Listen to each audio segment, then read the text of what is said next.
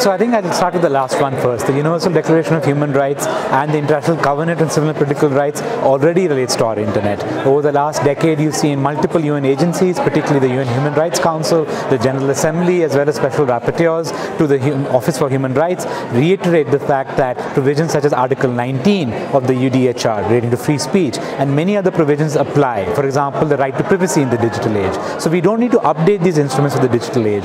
What we need instead, in fact, is to understand, interpret and enforce this.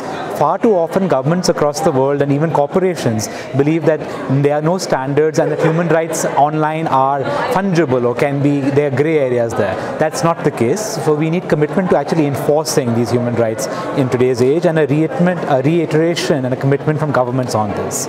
And in terms of bodies and cooperation, there are multiple mechanisms, multiple bodies. It also depends on the topic. Ultimately, the UN, of course, will be very central to many of these conversations, but we also need increased state commitments on issues like cyber security, cyber attacks, and that needs to be through a multilateral, effective democratic process, but also processes that respect the decentralized, multi-stakeholder nature of internet governance as well. I don't have a one answer on this. I just say that there are multiple channels, and it's good that the UN is also trying to cooperate and collaborate it's critical to ensure that human rights are not siloed off.